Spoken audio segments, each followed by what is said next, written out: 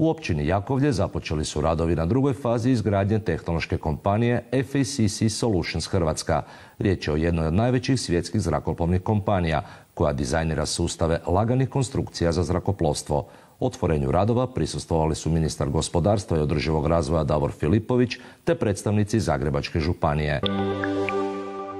Otvoreni su radovi druge faze tvornice tehnološke kompanije FACC Solutions Croatia, čime će se utrostručiti njezin proizvodni prostor. Riječ je o vodećoj zrakoplovnoj i svemirskoj tvrtki te etabliranom partneru globalne zrakoplovne i svemirske industrije.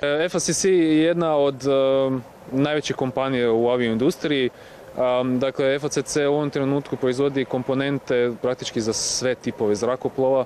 Dakle, u ovom trenutku nema zrakoplova koji u ovom trenutku ne leti sa tehnologijom koja je razvijena i proizvedena u FACC-u. FACC je dominantno austrijska kompanija, međutim i globalna kompanija i tako je ova investicija u Hrvatskoj dio te strategije internacionalizacije Um, ono što je, ja mislim, jako važno naglasiti dvije stvari. Jedno, ovo je najveća investicija FACC-a van Austrije, a druga stvar, sami tajming investicije se dogodio u trenutku možda najveće krize u ovoj industriji, što samim pokazuje da FACC ozbiljno dugoročno strateški gleda na ovu lokaciju. Ovim radovima tvornica, kao što je rečeno, povećava svoje kapacitete, te će se proširiti proizvodni prostor za interijere kabina, a izgradit će se i dodatna poslovna zgrada. FACC Solutions Croatia u proširenje lokacije ulaže 21 milijun eura. Posebno mi je zadovoljstvo što sam danas ovdje, jer smo ovdje bili prije samo godinu dana.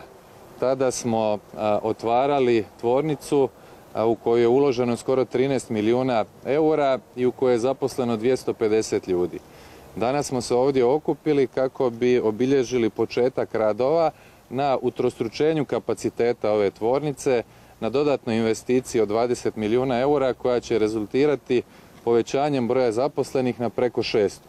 To su vrhunske stvari koje treba E, pozdraviti. Radovi na tvornici će biti dovršeni u lipnju 2024. a do kraja 2026. radna snaga će se gotovo udvostručiti, te bi u njoj trebalo raditi 600 zaposlenica i zaposlenika. Sama investicija od velike je važnosti i za općinu Jakovlje. Za nas ovakve investicije jako puno znače, konkretno evo za općinu Jakovlje, jer ono što one znači donose i nove investitore na naše područje, isto tako omogućuju nam otvaranje otvaranje novih gospodarskih zona. E, ono što je najbitnije da u ovom proizvodnom pogonu od 5000 kvadrata mnogi naši mještani su našli evo nova radna mjesta, a sigurna sam da i ovih 10.000 novih kvadrata mnogo njih očekuje evo njihovo radno mjesto, isto tako će im osigurati bolju egzistenciju za život.